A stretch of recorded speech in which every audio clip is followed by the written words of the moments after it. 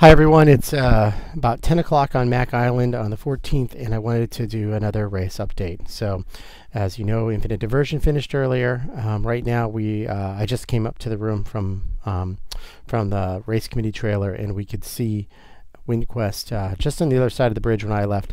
I, I, this says they're going 6.6 knots right now. That's not impossible. Um, it would be quite a puff of wind versus what I've seen because out on the straits for the last couple of hours, it's been glass calm. So um, I don't know if this is temporary or not, but it has been slow going for uh, for WindQuest for the last couple of hours here. So um, I've seen speeds as low as 0.9 knots. Um, so they're working their way. They're going to finish next. I mean, hopefully in the next. Boy, if they go, if they're really going 6.6 knots, it'll be an hour or less. Um, if they're going the 0.9 knots we were seeing earlier, it's four hours from now. So um, we'll see what happens. Um, Il Mastro is a couple of miles behind. They're going 1.1 knots right now. That's more like the speed I've been seeing from WindQuest.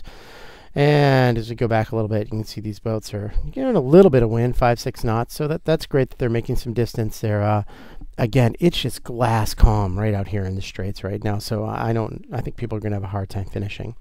One thing that I want to point out, a theme that I've been hitting today has been about going left versus going right. And I just want to, let's see if this is still the same. Yeah, so stripes right now, remember they jibed and went out to the uh, west side of the course. They're going 10.3 knots right now. They're flying versus these boats over here. So this is Ocean and Andrew 77 is going 2.7 knots. So we continue to see really more velocity over on this side of the lake. And uh, we don't see that as consistently as we did earlier today. So um, backing up in the fleet a little bit, we've got some boats going uh, through the Manitous. They're going kind of slow here. Um, uh, four knots for Main Street, which is uh, J145, is that's a little slow for Main Street, but uh, so lots of light winds uh, through the Manitous, which we thought was going to be the case today. Um, boats approaching the Manitous are going okay. You know, there's lots of sort of four knots, five knots, nothing great, but not bad. Um, And uh, as we get back here, sort of off of Point Betsy, boats that were just dying earlier today, uh, like Maggie May, the Beneteau 36.7, are up to closer to five or six knots of boat speed. So that's a good sign. Um, going back to my left versus right theme, let's just check this Beneteau 40.7 thing we were looking at earlier today. And uh, I haven't looked at this for a while, but let's uh, take a look. So remember, we looked at Sociable. Um, 4.8 knots now, and Broderi is going 6.6. Wow um, over here on the west side and compare them to Das Boot, who's doing great at 5.8. So not as big of a difference as yesterday, but still faster over here, um, at least on Broderi. 4.9 on Vayu, 5.4, 5.3. 5.2. So we're still looking in a lot of cases, not all cases, another knot of boat speed over here. We're getting higher boat speeds, as you saw, up over here, meaning the wind's maybe a little bit more up in this area now versus over here. So moral of the story is light winds in this part of the course that I'm sort of circling right now up through the straits and Manitou, um, Manitous up through the Straits of Mackinac, really light winds. Um, looks like decent winds up sort of here in what I call the Great Circle Route outside of Beaver Island. Um, and it looks like we're getting decent winds uh, over in kind of the Point Betsy area where things have been really calm today.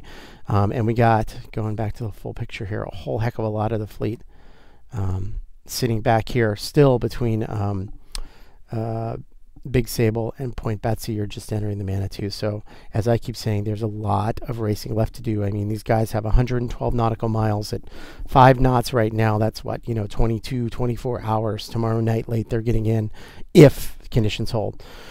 Um, next thing I want to show is the forecast for tomorrow. And um, uh, one thing I want to say is I think that this is doing a pretty admirable job. Maybe uh, uh, uh, the models are doing a pretty admirable job of current conditions. Again, it's glass calm here on the straits, and that's reflected. It's very light through the Manitous. That's reflected. There's a little more breeze further south. That's reflected, and there's more breeze sort of in the northern edge of the lake. That's reflected also. So let's just sort of step through here. And we see the calm area going over the straits and staying over the straits. So it's going to be tough to finish tonight right? And still have more breeze on sort of the western shore of the lake. And by 2 o'clock in the morning, uh, we filled in just a teeny tiny bit up here uh, by the straits. Winds are still good on the western side of the lake. If this validates, right, you look good over here, really good. Um, light through the Manitou Passage, light through the Manitou Passage, light through the Manitou Passage. It's I mean it's tough. Consistently more breeze over here. If we believe the models, we believe that those guys on the left are going to do do well in the great scheme of things. Though the question is, are they do, giving more distance than they will gain in speed by being on the left? Especially as we get to tomorrow morning, it gets a little soft across the whole top of the lake tomorrow morning. Nine o'clock, we have a giant hole form where honestly, most of our fleet's going to be right there, right? They're going to be sort of uh, entering Gray's Reef tomorrow morning, kind of at best through the Manitous. Uh, we're looking at very light winds in the northern third of the lake here. If there's any breeze, it's along this coast, along the um, northern coast, nor- uh, the Upper Peninsula there. Um, fills in a little bit by 2 o'clock, a little bit more by 3 o'clock. We're okay by about 5 o'clock.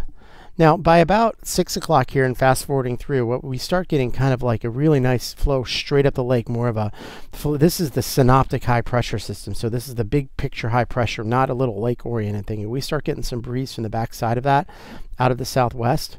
And we really, you know, it's okay, it's eight knots. It's not, you know, blowing a gale by any means, but we finally get to kind of some regular pressure without big holes in it by the time we get to one o'clock on Tuesday. Oh boy, I hope we're all done by then.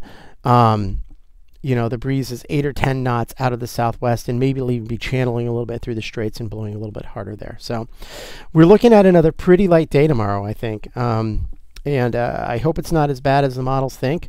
And um, it looks to me like if I had to pick a route, it's easy to be an armchair quarterback, right? But if I had to pick a route, I would pick a route along the sort of Wisconsin shore up through the Upper Peninsula shore really tough to do, but uh, boy, I really like that route right now. Um, we'll see what happens tomorrow, though. It's sailboat racing, and there's um, you know over 100 miles to go for an awful, awful lot of boats here. Thanks for your time, and I'll talk to everyone tomorrow.